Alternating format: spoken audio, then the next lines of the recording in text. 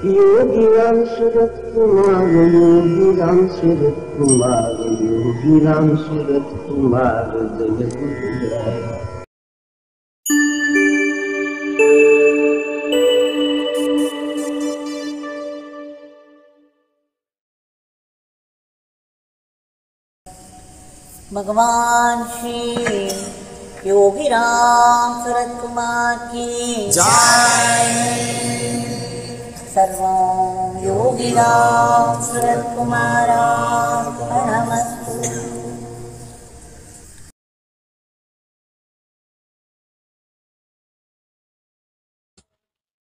இன்றைய தினம் நடந்த ஒரு பெரு நிகழ்ச்சியை நான் பலமுறை பகிர்ந்து கொண்டிருக்கிறேன் ஆயினும் ஒவ்வொரு முறையும் இதை நாம் பகிர்ந்து கொள்ளும் பொழுது நாம் உள்ளே சற்று கூடுதலாக வளர்கிறோம். ஒரு விஷயத்தை நாம் படிக்கும் பொழுது அதை திரும்ப திரும்ப படித்து கடைசியில் போர் அடித்து விடுகிறது என்று சொன்னோமானால் நாம் வளர்வதை நிறுத்திவிட்டோம் என்று அர்த்தம்.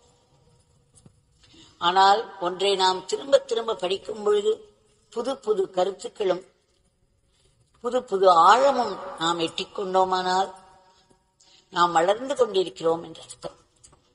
வளர்ச்சியில் என்றுமே ஒரு புதுமைதான். ஆழம்தான். ஆனால் தேங்கி நிற்கும் தண்ணீர் வெறும் தூசும் மாசும் தான் இருக்கும். பாசிதான் படர்ந்திருக்கும். உபயோகத்துக்கு வராது. ஆக யாரெல்லாம் எது ஒன்றை போர் அடிக்கிறது கடவுளுடைய தொடர்பு கொண்ட ஒன்றை போர் அடிக்கிறது என்று நினைக்கிறார்களோ அவர்கள் தங்களை மாற்றிக்கொண்டு வளரத் தொடங்க வேண்டும். வளர்ச்சியின் அடையாளமே புதுமைதான். ஆழம்தான். இன்றைக்கு அதே நிகழ்ச்சியை திரும்ப பார்ப்போம். ஒன்றுமில்லை என்றாலும் ஞாபகமாவது படுத்திக் கொள்ளலாம். அந்த ஞாபகத்திற்கும் ஒரு பெருமை உண்டு ஒரு அருள் உண்டு அதற்கு ஒரு பலன் உண்டு. ஒரு ஆருத்ரா தினமன்று பகவானை தேடி ஓடி அவருடைய சன்னதி வீட்டு வீட்டின் முன் நின்றேன். ஆனால் பூட்டிய கதவுதான் என்னை வரவேற்று. உடனேயே அங்கிருந்து ஓடி அண்ணாமலையார் கோவிலுக்குள் நுழைந்தேன். அண்ணாமலையார் கோவிலுக்குள் நுழைந்த அந்த இடத்திலேயே சற்று தள்ளி இந்த ஆயிரங்கால் மண்டபத்தை ஒட்டி ஒரு சுவற்றிலே சாய்ந்தபடி பகவான் உட்கார்ந்து கொண்டிருந்தார். அவரை சுற்றி ஒரு கூட்டம் இருந்தது. சற்று தள்ளி ஒரு அரசமரம் இருந்தது. அங்காங்கே சிலர் கூடி கூடி உட்கார்ந்து கொண்டிருந்தார்கள். பட் பலர் அவர் முன்னே கூடியிருந்தார்கள். நான் உள்ளே நுழைந்த வேகத்தில் அவரை பார்த்தவுடன் பிரமித்து போனேன். ஒவ்வொரு முறையும் அவரை பார்க்கும் பொழுது ஒரு புது இன்பம் ஒரு புத்துணர்ச்சி ஒரு புது உற்சாகம் ஒரு புதிய தெய்வீக உணர்வு இருக்கும். இது சத்தியம். என்றுமே மகான்களின் தரிசனம் போர் அடிக்கவே அடிக்காது. போர் அடித்தால் நமக்குள்ளே ஏதோ மாறிவிட்டிருக்கிறது அது நம்மை கீழே இழுத்துவிடும். அவரிடம் மண்டிக்கும் அந்த புத்துணர்வை கண்டேன். ஒரு புது உற்சாகம். ஆனாலும் அவரிடம் உள்ள பயம். தடை போட்டது சற்று தள்ளி நின்று கொண்டேன். அவருடைய கண் அசைவுக்காக காத்துக் கொண்டிருந்தேன். அவர் அனுமதியின்றி நாம் வேகமாக ஓடிச் சென்று அவர் முன் அவர் அமர்தல் எல்லாம் சரிவராது. சில சமயம் அவருடைய தந்தையின் பணிக்கு அது தடையாக இருக்குமே ஆனால் அவர் உடனே நம்மை அனுப்பி விடுவார். அது நம்முடைய நஷ்டம். ஆக எப்பொழுதுமே ஜாக்கிரதையாக அவருடைய முகத்தை பார்த்து பார்த்து அவருடைய கண்ணை செய்வு கையை செய்வி பார்த்து நின்று கொண்டிருப்போம் ஏங்கிக் கொண்டிருப்போம். நம்மை உட்கார சொல்ல மாட்டாரா? சிறிது நேரமாவது அவரோடு உட்கார மாட்டோமா என்ற ஏக்கம் தொடர்ந்து இருக்கும். அப்படி ஒரு மேக்னட்டிசம் உண்டு அவரிடம். இந்த மேக்னட்டிசம் தெய்வீகத்துக்கே உரியது. எங்கெல்லாம் தெய்வீகம் இருக்கோ அவர்களிடம் அந்த மாதிரியான ஒரு ஈர்ப்பு இருக்கும் அதனால்தான் ஜனங்கள் அவர்களிடம் கூடுகிறார்கள். நின்று கொண்டிருந்த பொழுது சிறிதளவு கண்ணசைவு உடனே சந்தோஷமாக ஓடிச் சென்று அந்த கூட்டத்தோட கூட்டமாக நானும் அமர்ந்து கொண்டேன் அமர்ந்த பிறகுதான் என்னால் சுற்றிலும் பார்க்க முடிந்தது. கூட்டம் கூட்டமாக ஜனங்கள் உள்ளே சென்று கொண்டிருந்தார்கள். நாங்கள் ஒதுக்குப்புறமாக உட்கார்ந்து கொண்டிருந்தோம். ஜனங்கள் கூட்டமாக நேராக உள்ளே சென்று கொண்டிருந்தார்கள். அவ்வளவு கூட்டம் இன்றைக்கு நான் நினைத்துக் கொண்டேன் இவர்களெல்லாம் இங்கே பகவான் உட்கார்ந்து கொண்டிருக்கிறார். இந்த அருணாச்சலேஸ்வர் மனித உருவில் இங்கே உட்கார்ந்து கொண்டிருக்கிறார். நம்மை பார்த்து சிரித்துக் கொண்டிருக்கிறார். நம்முடன் பேசிக் கொண்டிருக்கிறார். இவ்வளவு எளிமையாக நமக்கு கிட்டியிருக்கிறார். அவரை தாண்டி இவர்கள் நேராக உள்ளே போகிறார்களே. அந்த உள்ளே இருக்கக்கூடிய மூர்த்தி அதை உணர்ந்தவர்களுக்குத்தானே உணர்ந்தவர்களிடம்தான் பேசும். உணர்ந்தவர்களுக்குத்தான் காட்சி கொடுக்கும். இல்லை என்றால் மற்றவர்களுக்கு அது சிலையாக இருக்கும். ஆயினும் அதையும் மீறிய பக்தி உள்ளவர்களுக்கு அதிலிருந்து பெரும் பலன் உண்டுதான். ஆனால் என் மனம் நினைத்தது இவ்வளவு எளிதாக நமக்கு ஒரு மனித உருவில் கிட்டியிருக்கிற மனித உருவில் கிட்டியிருக்கும் அண்ணாமலையார். இவர்களுக்கு ஏன் அதை மனதில் தோற்றுவிக்கவில்லை என்று நினைத்துக் கொண்டேன் பிறகு அவரையே பார்த்து கொண்டிருந்தேன். எனக்கு ஞாபகம் வந்தது என்னுடைய சிநேகிதி ஒருவர் சொல்லியிருந்தார் ஆருத்ரா தர்ஷனன் தினமன்று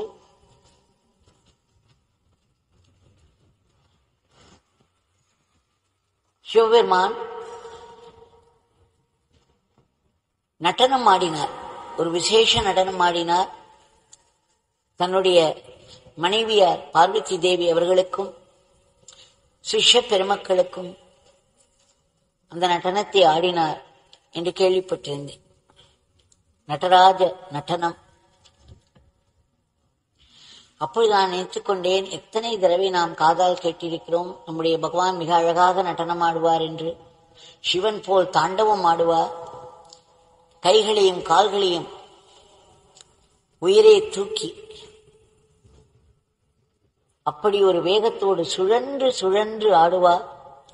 அவர் வாயாலேயே இந்த டமருவின் ஒலியை எழுப்புவார். இந்த மசானத்தில் அவர் ஆடிக்கொண்டிருப்பார் என்றெல்லாம் கேள்விப்பட்டிருக்கிறேன். மனதில் ஒரு பெரும் ஏக்கம். நாம் இவர் ஆடி பார்த்ததிலேயே ஒரு சிறிது சிறிது பார்த்திருக்கிறேன். ஆனால் அவையெல்லாம் நான் கேள்விப்பட்டதற்கு முன் ஒன்றுமில்லை. ஆக மனதிலே ஒரு பெரும் ஏக்கம். இவர் ஆடமாட்டாரா?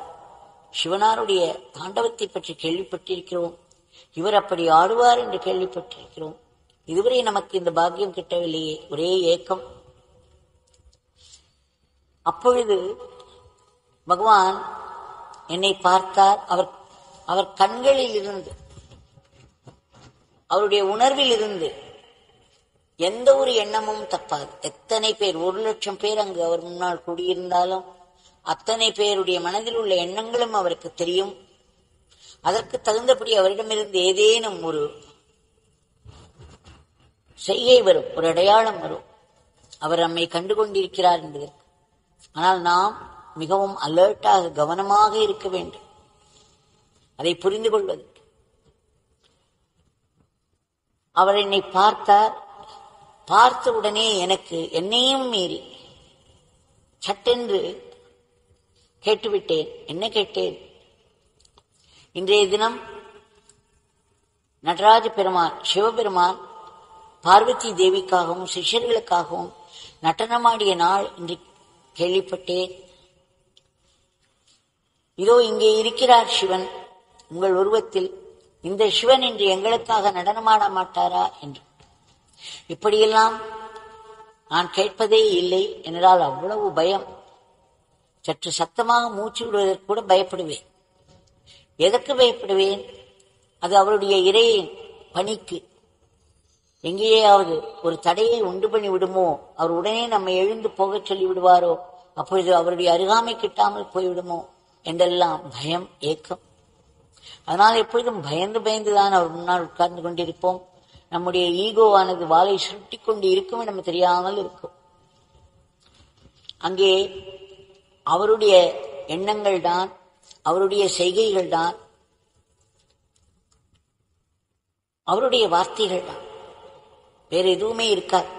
வேறு எதுவும் இருந்தால் அது உடனே அங்கிருந்து அகற்றப்படும். இது எவ்வளவு பெரிய தபஸ் நமக்கு.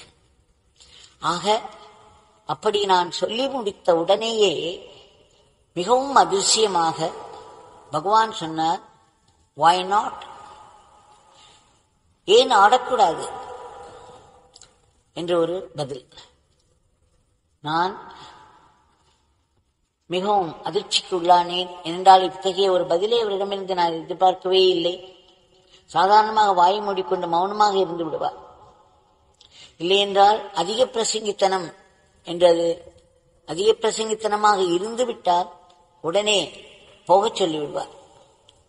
ஆனால் அன்றைக்கு ஏன் கூடாது என்று கேட்டார்.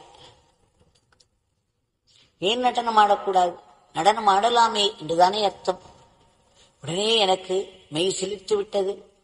அடடா எப்படி ஒரு பதிலை நமக்கு பகவான் எதிர்பாராமல் கொடுத்து விட்டார்? அப்படி என்றால் இன்றைக்கு இவன் நடனம் ஆடப் போகிறார் சிவனுடைய நடனத்தை ஆடப் போகிறார்.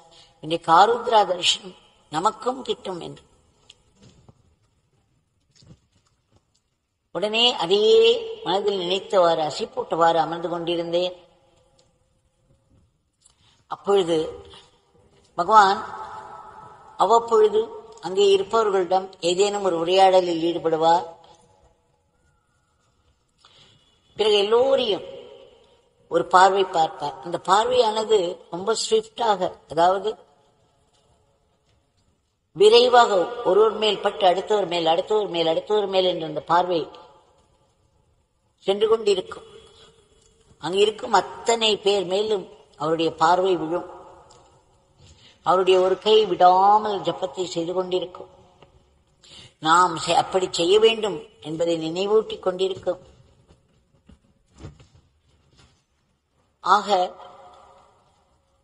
அவர் நான் நினைத்தேன் சரி வெகு வெகு விரைவில் இவர் எழுந்து நின்று நடனமாடப் போகிறார் என்று. அப்படி நான் ஏதேனும் நினைத்தேன் ஆனால் டக்கென்று அவருடைய பார்வை என் மேல் பட்டு பிறகு விலகிச் செல்லும். அப்பொழுது ஒரு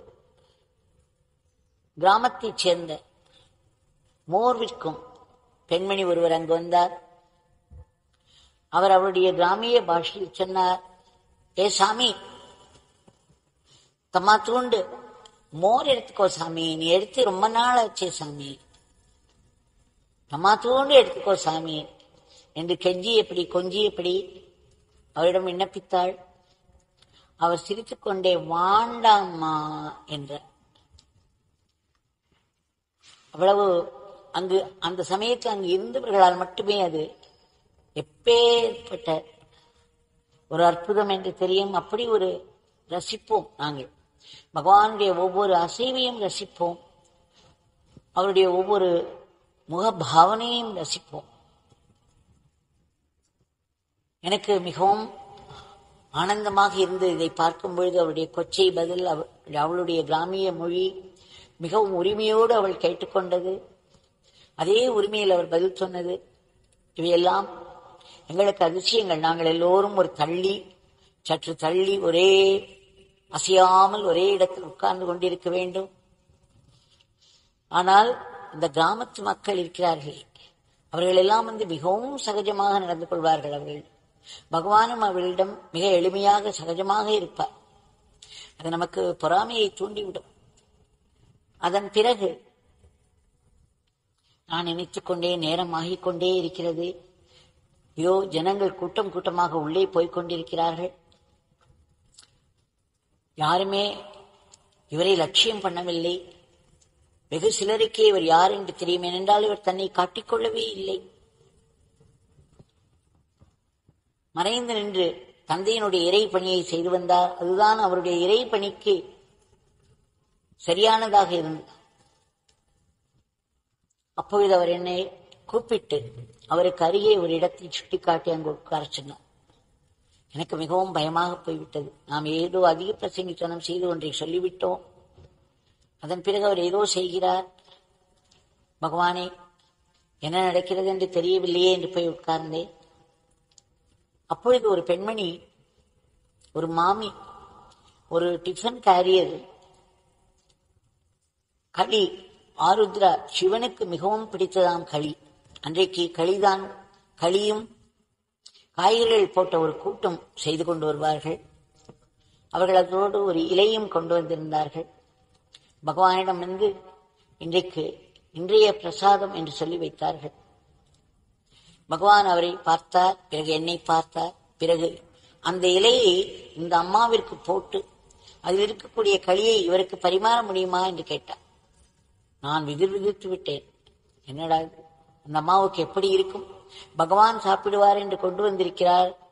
மிகவும் வேகமாக லுங்கலங்க என்று சொல்வார்களே அந்த மாதிரி ஓடி வந்திருக்கிறார் வேர்த்து விறுவிறுத்து. அவரிடம் போய் உடனே அவருக்கு கொண்டு வந்ததை எனக்கு பரிமாறச் சொல்கிறார். அவர் என்னையல்லவா நொந்து கொள்வார்? என்று ஒரு பயத்தோடு அவருடைய முகத்தை பார்த்தார். அவர் முகம் மலர்ந்து இருந்தது. பகவான் மிகவும் பழக்கம் போல. பகவான் எப்படி வேண்டுமானாலும் செய்வார் எப்படி செய்தாலும் ஆசீர்வாதம் தான் என்பதை நன்கு உணர்ந்தவர் போல் இருந்தது அவருடைய புன்சிரிப்பு. உடனேயே அந்த இலையை எடுத்தார். என் முன்னே அதை விரித்தார். பிறகு அந்த களியை பரிமாற ஆரம்பித்தார். இதற்குள் இதற்கு சற்று முன்னால் என்னை பகவான் கூப்பிட்டு அமரச் சொல்வதற்கு முன்னால் இரண்டு விஷயங்கள் நடந்தன. நான் பகவான் எழுந்து நடனமாடப் போகிறார் என்ற எதிர்பார்ப்போடு உட்கார்ந்து கொண்டிருந்தேன் அல்லவா? அப்பொழுது ஒரு பெரும் காற்று அடித்தது. அருகே இருந்த அரசமரத்து இலைகள் எல்லாம் அசைந்தன. The rustle of the leaves என்று சொல்வார்கள் அல்லவா? அவர்கள் அசையும் பொழுது ஒரு சத்தம் வரும். பகவான் சற்று மேலே பார்த்து அந்த அரசமரத்தை பார்த்து என்னிடம் சொன்னார் தேவ்கி அங்கே பார் சிவன் நடனமாடுகிறார் என்றார். நான் அவரையே பார்த்து கொண்டிருந்ததால் எதையுமே பார்க்கவில்லை. பிறகு அவர் சுட்டிக்காட்டிய திசையில் பார்த்தார். இந்த இலைகள் ஒரு பக்கத்திலிருந்து அடுத்த பக்கம். இப்படி ஒரு மூலையிலிருந்து இன்னொரு மூலைக்கு அசைந்து கொண்டிருந்தது. பக்கவாட்டில் அசைந்து கொண்டே இருந்தது எல்லா இலைகளும். அதற்கு ஏற்றாற்போல் ஒரு ஒலி எழுப்பிக் கொண்டிருந்தது. நான் பார்த்தேன் என்ன இது? இதை பார்த்தா சிவன் நடனமாடுகிறார் என்று சொல்கிறார். இந்த இலைகள் அசைவதை நான் நூறு முறை முன்பு பார்த்திருக்கிறேனே.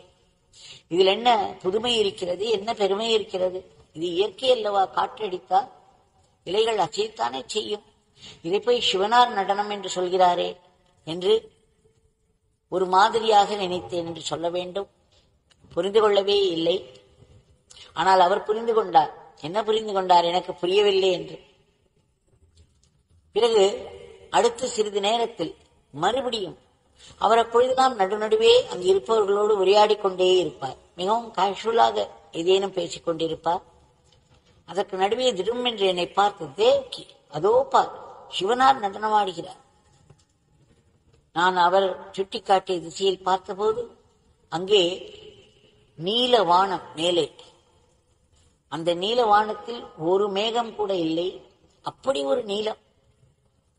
மிக அழகான நீளம் அவ்வளவு நீளமாக அந்த வானத்தை நான் பார்த்ததே இல்லை என்று சொல்ல வேண்டும். அதன் முன்னால் மூன்று கொக்குகள். மிக அழகாக ஒன்றன் பின் ஒன்றாக மூன்று நிலையில் பறந்து கொண்டிருந்தன. ரொம்ப கிரேஸ்ஃபுல்லாக பறந்து பறந்து கொண்டிருந்தன. நளினமாக அழகோடு பறந்து கொண்டிருந்தன. அந்த நீல நிறத்து வானத்தின் முன்னே வெள்ளை வெளையர் என்ற மூன்று பறவைகள் மிக அழகாக சென்று கொண்டிருந்ததை பார்த்தேன். அற்புதமான காட்சிதான். சாதாரணமாக நானே இதை பார்த்திருந்தாலும் அற்புதம் என்று ஒரு நிமிடம் நின்று அதை பார்த்து கொண்டே இருப்பேன் மெய்மறந்து இருப்பேன். ஆக இப்பொழுதும் அதை பார்த்தேன். இப்பேற்பட்ட அழகு என்று என்னால் அப்ரிஷியேட் பண்ண முடிந்தது. ஆனால் அதே சமயம் இவர் என்ன சிவனார் நடனம் ஆடுகிறார் என்று சொல்கிறார்? அப்படி என்றால் இவர் நடனம் ஆடப் போவதில்லையா? என்ற கேள்வி எழுந்துவிட்டது சந்தேகம் எழுந்துவிட்டது. உடனே என் மனம் அதை சிவனுடைய நடனம் என்று புரிந்து கொள்ள அறிந்து கொள்வதற்கு இசையவில்லை. உடனே பகவான் புரிந்து கொண்டு விட்டார். மறுபடியும் என்னுடைய மண்டையில் அது ஏறவில்லை என்று. அவ்வளவு திக்கான நமக்கு மண்டை ஓடு கொடுத்திருக்கிறார் அல்லவா கடவுள்?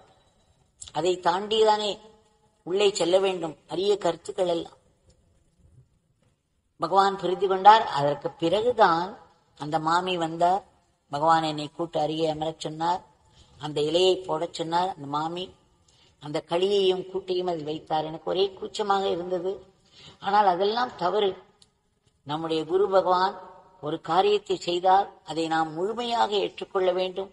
அதை பற்றி முன்பின் யோசிக்க கூடாது நாம் கூச்சப்படக்கூடாது. எந்த ரியாக்ஷனும் இல்லாமல் ஒரு பணிவு ஒன்றையும் அவருடைய தெய்வீகத்தை மட்டுமே நினைத்து கொண்டிருக்க வேண்டும். அவர் என்ன செய்கிறாரோ அது முற்றிலும் சரியானது என்பதை நாம் ஏற்றுக்கொள்ள வேண்டும். ஆனால் எனக்கு கூச்சமாகத்தான் இருந்தது. எனக்கு முன்னே ஒரு பெரிய கூட்டம். உட்கார்ந்திருப்பதோ அண்ணாமலையார் கோவில். அங்கே நினைத்து பாருங்கள் ஒரு நிமிடம். ஒரு வாழை இலை போட்டு அதில் களியை போட்டு கூட்டை போட்டு நான் சாப்பிட வேண்டும் என்கிறார். எனக்கு ஒரு புதுமையான அனுபவம். ஆனாலும் பயம் இருந்தது. பகவான் சொன்னதை நாம் கேட்கே ஆக வேண்டும். அப்பொழுதுதான் ஒன்றை பார்த்தேன். என்ன பார்த்தேன்? ஒரு மரவட்டை. ஒரு கருமையான மரவட்டை. அதனுடைய இரண்டு பக்கமும் மஞ்சள் நிற புள்ளிகள் இருக்கும். மிக வேகமாக செல்லும். மரவட்டையில் அது ஒரு வகை. ஆனால் எனக்கு அதுவரையில் அதை பார்த்தால் அருவருப்பு ஒன்றுதான் வரும். அதனுடைய ஆயிரம் கால்களும் அதனுடைய தோற்றமும் மிக மிக அருவருப்பை ஏற்படுத்தும் எனக்கு. ஆக அதே போல் வழக்கம் போல் அதை பார்த்த உடனேயே ஒரே அருவருப்பு எனக்கு ஒரு பயம் வேறு என்றால் அது நேராக என் இலையை நோக்கி வந்து கொண்டிருந்தது வெகு வேகமாக வந்து கொண்டிருந்தது. உடனே அந்த பயத்தில் அந்த அருவருப்பில் பகவான் அருகில் இருப்பதை மறந்தேன் முன்னால் இருக்கும் கூட்டத்தை மறந்தேன். அண்ணாமலையார் கோவிலில் உட்கார்ந்திருக்கிறோம் என்பதையெல்லாம் மறந்துவிட்டேன். எல்லாம் பறந்து போய்விட்டது. அந்த ஒரு பயம் ஒன்றுதான் இருந்தது. அந்த அருவருப்பு மட்டும்தான் இருந்தது. அது வெகு வேகமாக வந்தது. அடுத்து சில செகண்ட்ஸ்களில் அது என்னுடைய இலையின் மேல் ஏறிவிடும். நாம் ஒன்றும் செய்ய முடியாது. அது களியின் மேல் ஏறிவிட்டால் நான் வாந்தி எடுத்து விடுவேன். அப்பேற்பட்ட ஒரு அருவருப்பு எனக்கு என்ன செய்வது என்று தெரியவில்லை. அதை பார்த்து பயமும் ஒரு குமட்டி கொண்டு வந்தது. அப்பொழுது கணீர் என்று. அது என்ன ஒரு குரல்? பெருத்த குரல் உரத்த குரலில் பகவான் ஒரு பெரிய கர்ஜனை தான் செய்தார் என்று சொல்ல வேண்டும். Devki C Siva is dancing. இங்கே பார் சிவனார் நடனமிடுகிறார் என்று சொன்னார் அதுவரை அவர் சொன்னதெல்லாம் வேறு விதமாய் இருந்தது. ஆனால் இது இந்த கர்ஜனையும் அவருடைய உரத்த குரலும் அவர் சொன்ன விதமும் என் உள்ளே பல அதிர்வுகளை ஏற்படுத்தியது. அவர் அருகிலே அமர்ந்திருந்தேன் அல்லவா? பெரும் அதிர்வு என்னை ஆட்கொண்டது. அந்த அதிர்வில் ஒரு பெரிய உணர்வு தோன்றியது. அந்த பேருணர்வில் அதை பார்க்கும் பொழுது திடும் என்று எனக்கு அது மரவட்டியாக தோன்றவில்லை. அருவருப்பு வரவில்லை. பயம் வரவில்லை. அதில் நான் பார்த்தவை ஒரு நளினம் ஒரு அழகு. ஒரு பரதநாட்டியம் ஆடும் பொழுது மிக அழகாக ஆடும். பரதநாட்டிய மங்கை எப்படி நளினமாக தன்னுடைய அசைவுகளையும் பாவத்தையும் வெளிப்படுத்துவாரோ அதே போல் அந்த நேரத்தில் நான் முற்றிலும் அதை சிவன் நடனமாக பார்த்தேன். அப்படி ஒரு அழகு அப்படி ஒரு நளினம் அப்படி ஒரு அசைவோடு அது வந்து கொண்டிருப்பதை பார்த்தேன். அந்த ஒரு நிமிடத்தில் அவர் என்ன சொல்கிறார் என்று புரிந்துவிட்டார் இந்த அசைவுகள் எல்லாம் உலகத்தில் இருக்கும் அத்தனை அசைவுகளும் சிவபெருமானுடைய நடன அசைவுகள் தான் என்பதை புரிந்து கொண்டேன். எல்லாவற்றிற்கும் பின்னால் சிவனுடைய அந்த நடனத்தின் நளினம் இருக்கிறது அழகு இருக்கிறது தெய்வீகம் இருக்கிறது. இதை நாம் புரிந்து கொள்ளும் வரை கடவுளை நாம் புரிந்து கொள்ளவே இல்லை என்றுதான் அன்றைக்கு அந்த பேர் உணர்வை எனக்கு தந்தார். அந்த பேர் உண்மையை எனக்கு உணர்த்தினார். ஒரு சிறிய டெமன்ஸ்ட்ரேஷன் ஒரு சின்ன லீலையில் எப்பேற்பட்ட உண்மையை அவர் எனக்கு தந்துவிட்டார். அசையும் பொருட்கள் எல்லாம் சிவனுடைய அசைவே. இதுதான் நடனம். இதுதான் இட்டர்னல் டான்ஸ் ஆஃப் சிவா என்பதை எனக்கு உணர்த்தினார். அதன் பிறகு அந்த களியை சாப்பிட்டு எழுந்தேன் சட்டென்று ஒரு பெரிய சத்தம் கேட்டது. திரும்பி பார்த்தால் நடராஜ பெருமான் வெளியே வந்து கொண்டிருந்தார். அவரோடு ஒரு பெரும் கூட்டம் வந்து கொண்டிருந்தது. பகவான் எழுந்து விட்டார். திரும்பி பார்த்தால் அவரை காணும். அந்த கூட்டம் கலைந்து விட்டது. பிறகு நானும் எழுந்து கொண்டேன். இப்பொழுது நடராஜ பெருமான் வெகு வேகமாக முன்னே செல்ல ஆரம்பித்தார். அவர் தன்னுடைய பிரகார ஊர்வலத்தை தொடங்கிவிட்டார். அவரோடு பெரும் கூட்டமும் பின்னால் சென்றது. அந்த பின்னால் சென்ற அந்த கூட்டத்தில் யாருமே பகவானை திரும்பி பார்க்கவில்லை. பகவான் ஒரு பெரிய மகாத்மா என்பதை உணரவில்லை. அண்ணாமலையார் அவருடைய உருவத்தில் நடமாடுகிறார் என்ற உணர்வே யாருக்கும் இல்லை. அவர்கள் எல்லோரும் பின்னாடி போய்கொண்டிருந்தார்கள் நம்பெருமான் நம் பெருமான் எழுந்தார். அந்த கூட்டத்திற்கு பின்னால் கையை உயர்த்தி ஆசீர்வதித்தபடியே சென்று கொண்டிருந்தார். எனக்கு ஒரு தர்ம சங்கடம். அவரை தொடர்வதா வேண்டாமா? அவரை தொடர வேண்டும் என்ற ஏக்கம் என்னை பிடித்து இழுத்தது. ஆனால் அவருக்கு அது பிடிக்கவில்லை என்றால் என்னை உடனே போகச் சொல்லிவிடுவார் என்ற பயம். ஆயினும் ஆவலை அடக்க விட்டாமல் நான் அவர் பின்னால் மறைந்து மறைந்து சென்றேன். அவர் சற்று திரும்பும் பொழுதெல்லாம் உடனேயே ஒளிந்து கொள்வேன். அவர் கண்ணில் படாமல். பிறகு அவர் திரும்பி கையை உயர்த்தி ஆசீர்வதிக்கும் பொழுதெல்லாம் நான் பின்னால் நின்று கொண்டு அவர் பின்னால் சென்று கொண்டே இருந்தேன். இப்படியாக ஊர்வலம் முழுவதும் முடிந்தது. எப்பேற்பட்ட பாக்கியம். எத்தனை முறை நான் அன்று ஒளிந்து கொண்டு பிறகு அவரை பின்தொடர்ந்தேன் என்று தெரியாது. அது ஒரு பெரும் லீலையாக ஆனந்தமாக இருந்தது. அதே சமயம் நான் நினைத்துக் கொண்டேன் இத்தனை ஜனங்களும் அந்த நடராஜ பெருமான் சிலைதான் அர்ச்சாவதாரம். அர்ச்ச அவதாரம். அர்ச்சாவதாரத்தின் பின்னால் சென்று கொண்டிருக்கிறார்கள் உற்சவர். ஆனால் யாருக்குமே பின்னால் அதே நடராஜ பெருமான் இந்த உருவில் வந்து அவர்களை எல்லாம் ஆசீர்வதித்துக் கொண்டிருக்கிறார் என்ற உணர்வே இல்லை யாரும் திரும்பி பார்க்கவில்லை. ஆனாலும் அவர்கள் இறை உணர்வில் ஆழ்ந்திருந்ததனால் அவர்களுக்கு அந்த பலன் கிட்டியது என்று சொல்லலாம். அந்த ஊர்வலம் முடிந்தவுடன் திரும்பி பார்த்தால் இவர் எங்கே சென்றார் என்றே தெரியவில்லை. எப்படி மறைந்தார் என்றே தெரியவில்லை. எல்லோரும் உள்ளே சென்று விட்டார்கள். நான் மட்டும் சற்று தனியாக ஒரு ஓரத்தில் நின்று கொண்டிருந்தேன். கண்கள் சுழன்று சுழன்று இவர் எங்கிருக்கிறார் என்று கண்டுபிடிக்க பார்த்தது. ஏதோ ஒரு மூலையில் அவர் இருப்பது தெரிந்தது. நான் பார்த்த உடனேயே அவர் பகவான் கை கால்களை எல்லாம் அகற்றி போட்டபடி சுழன்று சுழன்று நடனமாடினார் சில நிமிடங்கள் தான் அதை செய்தார். ஆனால் அன்றைக்கு அது கண்கொள்ளா காட்சியாக எனக்கு இருந்தது. சிவனாருடைய ஆனந்த தாண்டவமாக அது எனக்கு தெரிந்தது. ஏனென்றால் நான் நினைத்தேன் பகவான் இந்த இலையையும் பறவையையும் மரவட்டையையும் காட்டி ஒரு பேருமையை உணர்த்தினார். அத்தோடு அது முடிந்துவிடும். நம்முடைய ஆசை நிறைவேறாது. அதற்கு பதில் ஒரு பெரிய ஆசையை வளர்த்துக்கொள் என்று சொல்கிறார் என்று புரிந்து கொண்டேன். ஆனால் அன்றைக்கு அந்த ஆசையையும் பகவான் பூர்த்தி செய்தார். ஒரு மூலையில் இருந்து தும் தும் என்று அவர் குதித்து குதித்து ஆடினார்.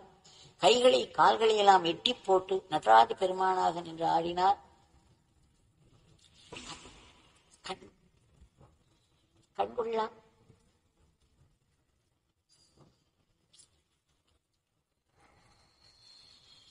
நினைத்து பாருங்கள். இப்பேற்பட்ட காட்சியாக அது இருந்திருக்க வேண்டும். இதுதான் நம் பகவான். ஒரு சிறிய இலையின் மூலம் ஒரு பெரிய உணர்வை கிளப்பி விட்டு ஒரு பேர் உண்மையை உணர்த்தி விடுவார். அதே சமயம் நம்முடைய ஆசைகளையும் நம்முடைய அளவில் நிறைவேற்றித் தருவார். இதை நாம் கண்டிப்பாக நினைவில் வைத்திருக்க வேண்டும். ஒவ்வொரு முறையும் கேட்கும் பொழுது நாம் ஒரு இன்ச் வளர வேண்டும். ஒரு இன்ச் ஆழத்தை தொட வேண்டும். இதை போர் அடிக்கிறது திரும்ப திரும்ப அம்மா சொன்னதையே சொல்லிக் கொண்டிருக்கிறார்கள் என்று யாரும் நினைக்க கூடாது. இது வெறும் வார்த்தைகள் அல்ல வெறும் கதை அல்ல. இதன் பின்னால் ஒரு பேர் உண்மை இருக்கிறது. அந்த உண்மையின் ஆழத்தை நாம் தொட வேண்டும். அந்த உண்மை நம்முடைய உள்ளத்தின் ஆழத்தை தொட வேண்டும். ஆக இதை நாம் மனதிற்கு திரும்ப திரும்ப கொண்டு வந்து அசை போட்டு இதை நம்முடைய ஆத்ம சக்தியாக மாற்றிக்கொள்வோம். இன்றைக்கு இதை நினைப்பதற்கு கிடைத்ததே ஒரு பெரும் கருணை. பேரருள். இதை கொண்டாடி இன்றைய பிரார்த்தனையை பகவானிடம் சமர்ப்பிப்போம். பகவான் தங்களிடம் மீண்டும் மீண்டும் வேண்டிக் கொள்கிறோம். கோட்டி கோட்டி முறை வேண்டிக் கொள்கிறோம். தாங்கள் உடனடியாக குறுக்கிட்டு இந்த உலகத்தை தர்ம வழியில் நடத்திச் செல்ல வேண்டும். அமைதி சமாதானம் ஒற்றுமை ஆகியவற்றை நிலைநாட்ட வேண்டும். வன்முறை தலைவிரித்தாடி கொண்டிருக்கிறது. அச்சத்தை ஊட்டுகிறது. போர் சூழ்நிலை நிலவுகிறது. கொடிய வியாதிகள் திடும் திடும் என்று தாக்கி ஆட்கொல்லியாக வேலை செய்கிறது. இயற்கையின் சீற்றங்கள் வேறு பயமுறுத்துகிறது. இப்படி பல பல விஷயங்களில் சிக்கி தவிக்கும் மக்களுக்கெல்லாம் தாங்கள் ஒற்றுமையையும் சமாதானத்தையும் அமைதியையும் ஆனந்தத்தையும் தர வேண்டும். வியாதிகளை கட்டுக்குள் வைக்க வேண்டும். இயற்கையினுடைய வன்முறையையும் கட்டுக்குள் வைக்க வேண்டும். இன்றைய உலகத்திற்கு காரணமாயிருக்கக்கூடிய எதிர்மறை எண்ணங்களை எல்லாம் மக்கள் மனதிலிருந்து அசுரர்களை அழிப்பது போல் அழிக்க வேண்டும். உலகத்தில் ஆங்காங்கே பல சமுதாயத்தைச் சேர்ந்தவர்கள் பல பாஷை பேசுபவர்கள் பல நாட்டைச் சேர்ந்தவர்கள் பல மதத்தை தழுவியவர்கள். யாராயினும் சரி ஏதேதோ கர்மவினையினால் கிளம்பிவிட்ட துன்பங்களில் சிக்கி உதவியின்றி பாதுகாப்பின்றி தவித்துக் கொண்டிருக்கிறார்கள். அவர்களுக்கெல்லாம் தங்கள் கருணையெட்டி வேண்டிய பாதுகாப்பு கிடைக்க வேண்டும். சுயநலமின்றி மற்றவர்களுக்காக எப்பொழுதும் உழைத்துக் கொண்டிருக்கும் நல்ல ஆத்மாக்களுக்கு வழி பாவங்களிலிருந்து பாதுகாப்பு கிடைக்க வேண்டும். நாட்டின் பொருளாதாரத்துக்கு ஒரு பெரிய ஏற்றத்தை தர வேண்டும். நாடு பல துறைகளிலும் சிறந்த வளர்ச்சியுற்று ஒரு பெரு நிலையை அடைந்து விஸ்வகுருவாக இருந்து இந்த உலகத்தை தர்மத்தின் வழியில் நடத்திச் செல்ல வேண்டும். இதை பல மகாத்மாக்கள் சொல்லியிருக்கிறார்கள். இப்படி நடக்கும் என்று. அதோடு பகவான் உங்களிடம் நாங்கள் மீண்டும் மீண்டும் வேண்டிக் கொள்கிறோம். உங்களுடைய திவ்யமங்கள நாமத்தை நாங்கள் இடைவிடாது உச்சரிக்க வேண்டும். உங்களுடைய லீலைகளையும் உபதேசங்களையும் மனதிற்கு கொண்டு வந்து அசைப்போட்டு அதை ஆத்ம சக்தியாக மாற்றிக்கொள்ள வேண்டும். தங்களுடைய கைகளிலே நாங்கள் சாத்விக கருவிகளாக மட்டுமே இயங்க வேண்டும். எங்களுடைய அன்றாட வாழ்க்கையை தங்களுக்கு அர்ப்பணமாக செய்து வர வேண்டும். மாயையின் பிடிக்குள் தப்பித்தவரை கூட சிக்கிவிடக்கூடாது அந்த குழியில் விழுந்தால் எழுவதற்கு எத்தனை காலங்கள் பிடிக்கும் என்று தெரியாது. தங்களுடைய அந்த பேரானந்த பெருநிலை எங்களுக்கும் கிட்ட வேண்டும். எதையுமே சார்ந்திராது எவரையுமே சார்ந்திராது. அந்த ஆனந்தம் எங்களுக்கு கிட்ட வேண்டும் என்றால் எங்கள் மனம் தூய்மையாக இருக்க வேண்டும். ஆனால் எங்கள் மனதிலோ இப்பொழுது கோபம் பொறாமை காமம். வளர்ந்து கொண்டே போகும் ஆசை பொர் துக்கம். ஒரு பயம் கிளம்பி நம்மை எப்படி சாப்பிட்டு விடுகிறது? ஒரு கோபம் கிளம்பி எப்படி நம்மை சாப்பிட்டு விடுகிறது? பெருகிக்கொண்டே போகும் ஆசைகள் சில நாட்களிலேயே தேவைகளாக மாறிவிடுகின்றன. அப்படி ஒரு கட்டத்தில் நாம் இருக்கிறோம். இவையெல்லாம் மனதினுடைய கெட்டியான அழுக்குகள். இதை அகற்றுவதற்கு ஒரு ஒரே வழிதான் பகவானுடைய திருநாமம். தங்களுடைய சக்தி வாய்ந்த இந்த நாமத்தில் நாங்கள் அடைக்கலம் கொள்கிறோம். அதை இடைவிடாது ஆனந்தமாக நாங்கள் உச்சரித்துக் கொண்டே இருக்க வேண்டும். அது எங்களுடைய ஆத்மீக சக்தியாக எங்களுடைய மனோபலமாக ஆத்மபலமாக மாற வேண்டும். எங்கெங்கு நாங்கள் இருந்தாலும் எங்கள் கைகளில் விழும் வேலை சிறியதோ பெரியதோ அதை தங்களுடைய வேலையாக பாவித்து தங்களுடைய சேவையாக ஆனந்தத்தோடு போட்டி பொறாமை பொச்சரிப்பின்றி தங்களுக்கு அர்ப்பணமாக செய்து வர வேண்டும். அப்பொழுது இவை அனைத்தும் எங்களுடைய ஆத்ம சக்தியாக ஓங்கும். இறுதியாக வாழ்க்கை என்ன கொண்டு வந்து கொடுக்கிறதோ துக்கமோ சுக்கமோ துக்கமோ தங்களிடமிருந்தல்லவா வருகிறது. தங்களுடைய சங்கல்பத்தினால் ஏற்படுகின்றன. எங்கள் கர்மவினையை ஒட்டி இவைகள் உண்டாகின்றன. அது எங்களுக்கு பெரும் நன்மையைத்தான் தரும். தங்களிடமிருந்து வருவதால் அது ஒரு பெரும் ஆசீர்வாதம். எங்களுக்கு ஆன்மீக முன்னேற்றத்தை தரக்கூடிய ஆசிர்வாதம். எங்களை தங்களை நோக்கி தள்ளிவிடும்.